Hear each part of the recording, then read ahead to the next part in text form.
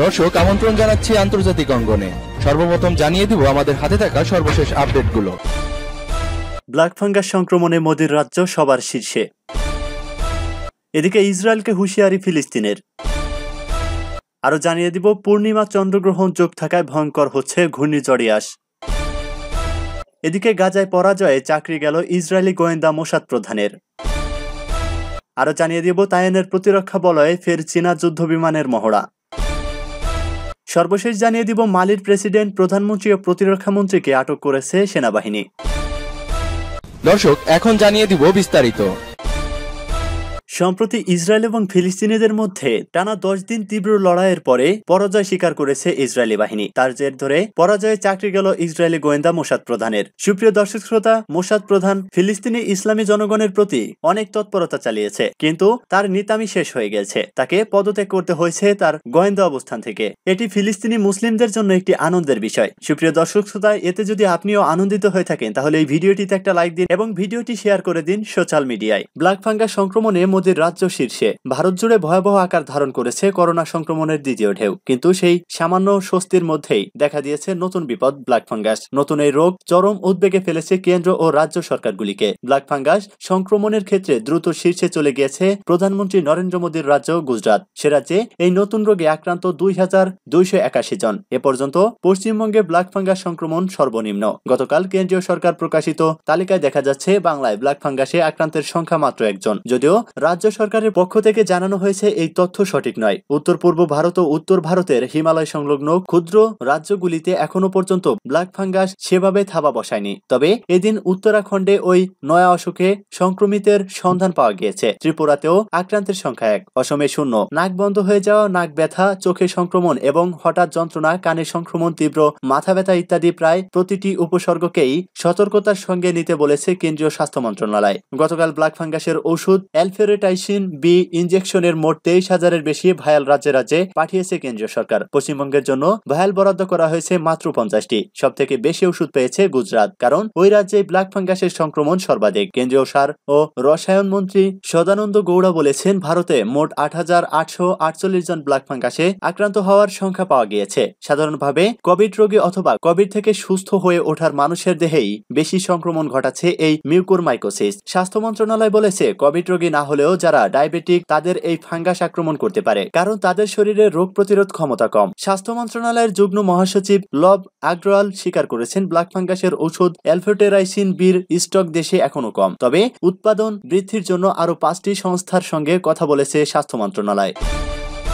এদিকে ইসরায়েলকে হুঁশিয়ারি ফিলিস্তিনের। দখলদার ইসরায়েলকে হুঁশিয়ারি দিয়েছে ফিলিস্তিনের সরকার। ধরপাকড় ও হয়রানি বন্ধ না হলে ইহুদিবাদী দেশটির সঙ্গে সংঘাত বাড়তে পারে বলে সতর্ক করেছে ফিলিস্তিন। গতকাল ফিলিস্তিনের প্রেসিডেন্ট মাহমুদ আব্বাসের মুখপাত্র নাবিল আবু রুদেইন এর সতর্কতার কথা জানান। ইসরায়েলি বাহিনীর যুদ্ধবিরতি কার্যকর হওয়ার পর শেখ জারা ও আল্লাকসা মসজিদে অভিযান অব্যাহত রেখেছে। পাশাপাশি বেশ কয়েকজনকে আটক করেছে। এই পরিস্থিতিতে ফিলিস্তিনি প্রেসিডেন্টের মুখপাত্র জানিয়েছেন, এসব ঘটনা পুনরায় উত্তেজনায় নিয়ে যেতে পারে বলে বলা হয়েছে। তিনি বলেন, ইসরায়েলি দখলদার সরকারের সরাসরি এসব নাশকতা বন্ধে বিশেষ করে মার্কিন যুক্তরাষ্ট্রের প্রশাসন দায়বদ্ধ। পাশাপাশি যুদ্ধবিরতির স্থিতিশীলতা বজায় রাখতে ও গাজা পুনর্গঠনে সহযোগিতার জন্য প্রস্তুত আন্তর্জাতিক সম্প্রদায়ের মার্কিন প্রশাসনের সঙ্গে মিশরের প্রচেষ্টার বিষয়টিও তুলে ধরেন। ইসরায়েলি নীতির উস্কানি ও উত্তেজনা বন্ধ করতে তিনি মার্কিন প্রশাসনকে হস্তক্ষেপ করার আহ্বান জানিয়েছেন, কারণ ইসরায়েলি সরকার এই অঞ্চলকে পেছনের সংঘাতের দিকে ঠেলে দেওয়ার চেষ্টা করছে। এ সময় আবু রুদেনি জোর দিয়ে বলেন, জেরুজালেম নিয়ে মূল যুদ্ধ হয়েছিল এবং এটি এখনও চলমান রয়েছে। এদিকে আল আকসার তদারককারী কর্তৃপক্ষ দা ওয়াকফ বলেছে আল আকসা মসজিদে প্রবেশে বাধার মুখে পড়েছেন ফিলিস্তিনিরা। ফিলিস্তিনিরা আবেদন করলেও পঁয়তাল্লিশ বছরের নিচে কাউকেই মসজিদটিতে যেতে দেওয়া হচ্ছে না। মসজিদে প্রবেশে ইচ্ছুক ফিলিস্তিনিদের পরিচয়পত্র কেড়ে নেওয়া হচ্ছে। এছাড়া অন্তত তিন ফিলিস্তিনিকে আটক করেছে ইসরায়েলি বাহিনী। এর আগে যুদ্ধবিরতির কয়েক ঘণ্টা পর শুক্রবার জুমার নামাজের জন্য আল আকসায় জড়ো হওয়া ফিলিস্তিনিদের উপর হামলা চালায় ইসরায়েলি পুলিশ। পূর্ব জেরুসালেমের আল আকসা মসজিদ প্রাঙ্গনটি একই সঙ্গে মুসলিম ও ইহুদিবাদীদের জন্য পবিত্র স্থান বলে বিবেচিত হয়। মুসলিমরা একে আল হারাম আল শরীফ বলে ডেকে থাকেন। কিন্তু সেখানে ফিলিস্তিনি মুসলিমদের প্রবেশের নিষেধাজ্ঞা জারি করেছে ইসরায়েলি বাহিনী, যার জের ধরে ফিলিস্তিনিরা কঠিন হুঁশিয়ারি ব্যক্ত করেছেন ইসরায়েলের বিরুদ্ধে। এদিকে পূর্ণিমা চন্দ্রগ্রহণ যোগ থাকায় ভয়ঙ্কর হচ্ছে ঘূর্ণিঝড় ইয়াস ঘূর্ণিঝড় ইয়াসে বর্তমান গতিপথে বাংলাদেশ কিছুটা স্বস্তি পেলেও উল্টো চিত্র বিরাজ করছে ভারতে। বিশেষ করে পশ্চিমবঙ্গ ও উড়িষ্যাতে এই ঘূর্ণিঝড় নিয়ে বাড়ছে শঙ্কা ও উদ্বেগ। এদিকে, গতকাল রাতে ইয়াসের প্রভাবে বাংলাদেশে ঝড়ে বাতাসের সঙ্গে বৃষ্টি হয়েছে। গত বছর ঘূর্ণিঝড় আম্পানাও পশ্চিমবঙ্গ উপকূলে প্রথম আঘাত হেনে সুন্দরবন হয়ে বাংলাদেশের দক্ষিণ পশ্চিম উপকূল পেরোনোর সময় ধ্বংসাযজ্ঞ রেখে গিয়েছিল। অপরদিকে, আমপানের চাইতেও ইয়াস আরও ভয়ঙ্কর হতে পারে বলে এমন আশঙ্কা জানিয়ে এরই মধ্যে সতর্ক বার্তা দিয়েছেন পশ্চিমবঙ্গের মুখ্যমন্ত্রী মমতা বন্দ্যোপাধ্যায়। রাজ্যটির আলিপুর আবহাওয়া অফিস জানিয়েছে, ক্রমেই শক্তি বৃদ্ধি করে পশ্চিমবঙ্গের দিকে ধেয়ে আসছে ঘূর্ণিঝড়টি। আর এরই মধ্যে অপেক্ষা করছে পূর্ণিমা ও পূর্ণগ্রাস চন্দ্রগ্রহণ। এই দুই কারণে ঘূর্ণিঝড়টি আরও শক্তিশালী হয়ে উঠতে পারে বলেই আশঙ্কা করা হচ্ছে, যার প্রভাবে উপকূলীয় এলাকায় ব্যাপক ক্ষয়ক্ষতি হতে পারে। গতকাল সন্ধ্যায় ভারতের আবহাওয়া অধিদপ্তরের সর্বশেষ বুলেটিনে বলা হয়েছে, গত ছয় ঘন্টায় ঘূর্ণিঝড় ইয়াস ঘন্টায় সাত কিলোমিটার বেগে উত্তর ও উত্তর পশ্চিম দিকে এগিয়ে যাচ্ছে। এটা আরও উত্তর ও উত্তর পশ্চিম দিকে এগোবে বলে ধারণা করা হচ্ছে। আগামী বারো ঘন্টায় শক্তি সঞ্চয় করে ইয়াস প্রবল ঘূর্ণিঝড়ের রূপ নেবে। পরের চব্বিশ ঘন্টায় আরও শক্তি দিয়ে আসছে পড়বে এই ঘূর্ণিঝড়টি।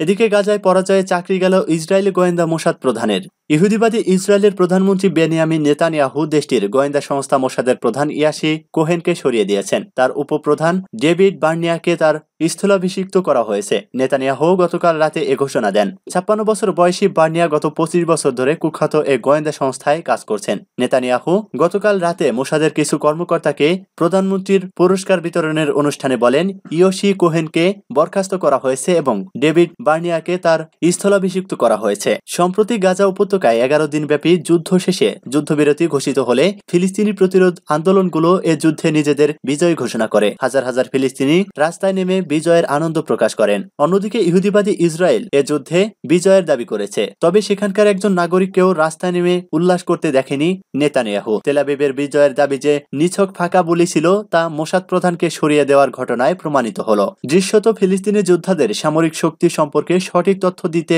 ব্যর্থতার জন্য কোহেনকে সরিয়ে দেওয়া হয়েছে। গাজা উপত্যকার আবাসিক ও বেসামরিক অবস্থানগুলোর উপর ইসরায়েলি ভয়াবহ বিমান হামলায় ছেষট্টি শিশু ও ছত্রিশ নারী সহ দুইশো তিপ্পান্ন ফিলিস্তিনি বেসামরিক লোক নিহত ও উনিশশো জন আহত হয়েছেন। অন্যদিকে গাজা থেকে প্রতিরোধ যোদ্ধাদের নিক্ষিপ্ত রকেট ও ক্ষেপণাস্ত্র আঘাতে ইসরায়েলে এক সেনা সহ তেরো ইসরায়েলি প্রাণ হারিয়েছেন।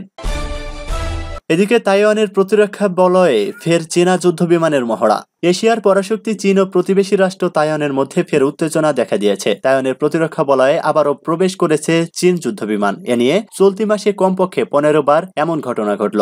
গতকাল চীনা বার্তা সংস্থা সিনহর প্রতিবেদনে জানা যায়, গতকাল তাইওয়ানের এয়ার ডিফেন্স আইডেন্টিফিকেশন জোনে ঢুকে পড়ে চীনের দুটি যুদ্ধ বিমান এর মধ্যে একটি হচ্ছে সাবমেরিন শিকারী শানকি ওয়াই এইট বিমান। ওই বিমানগুলোতে অন্তত আধুনিক রাডার রয়েছে, যার ফলে এরা সহজেই প্রতিপক্ষের সাবমেরিন খুঁজতে সক্ষম হয়। এছাড়া একাধিক মিসাইল ও বোমা নিয়ে যুদ্ধজাহাজ ধ্বংস করে বিপক্ষের নৌসেনাকে বেকায়দায় ফেলে দিতে পারে এই বিমানগুলি। তাইওয়ানের সামরিক ঘাটিও সরঞ্জামী চীনের নিশানা ছিল বলে মনে করছেন দেশটির প্রতিরক্ষা বিশ্লেষকরা। তাইওয়ানের প্রতিরক্ষা মন্ত্রণালয় জানিয়েছে, চীনা বিমানের গতিবিধি রাডারে ধরা পড়তেই সব মিসাইল সিস্টেম সক্রিয় করে দেওয়া হয়। এই সূত্র জানিয়েছে ওডি।